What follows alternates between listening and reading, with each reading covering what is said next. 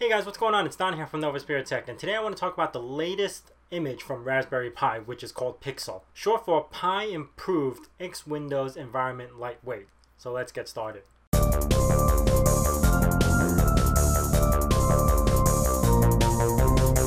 So guys, I'm not going to show you how to install this into SD card. I'm going to leave a link above for previous videos that I've done this before. But I am going to show you where you can download or update the current Jessie system to Pixel. Now, once you navigate over to this website, and I'll leave a link in the description below, you scroll down to the bottom and actually gives you the steps on how to update the current Jessie system to Pixel. Now, I'm going to be leaving a link below that's going to take you directly to where you can download the current image for Pixel.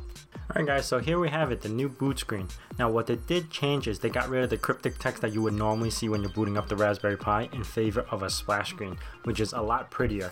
And you could also now enable login prompts, so I don't have it, I have it automatically logged in, but you could check that out later. Now, the first thing you're going to notice is that they actually replaced their default wallpaper with the Raspberry Pi logo in the middle with actually pretty wallpapers and gives you a couple of selections and I'm going to show you a couple of uh, wallpapers that they have pre-installed. Now, here you're to notice that they also installed a new application called SenseHat Emulator.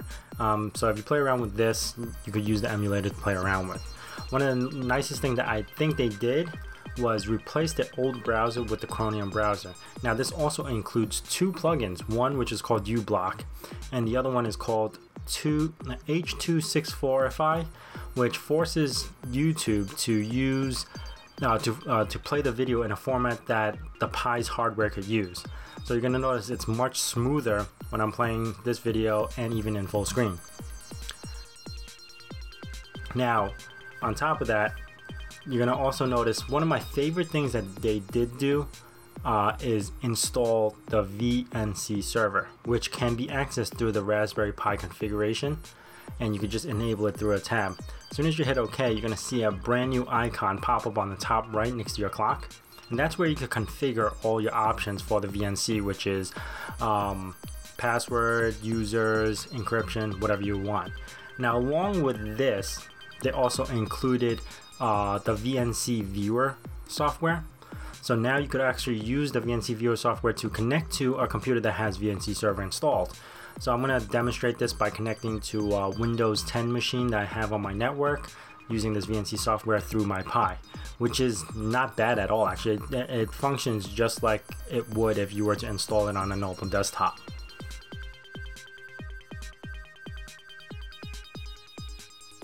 So here we have it. Uh, everything runs fine, um, runs like it should. Now, then the last thing you're gonna notice that they updated all the icons. Uh, they actually put a lot of work and emphasis on the icons for Raspberry Pi to make everything look pretty. They also updated some text, and it's a lot more stable than what it used to. So guys, thanks for watching my video. I hope you guys enjoyed this little review. I want to ask if you guys know any channels to recommend that I could do the shout out of the week. Leave a little description and little channel name and I'll go through them and see what it's all about. Now, if you haven't done so already, please hit the little subscribe button to subscribe to this channel if you haven't done so already. And as I say in my nerd cave, hack till it hurts. Now, once you get back in, you're gonna be able to load your ROMs and play the game that you want to play.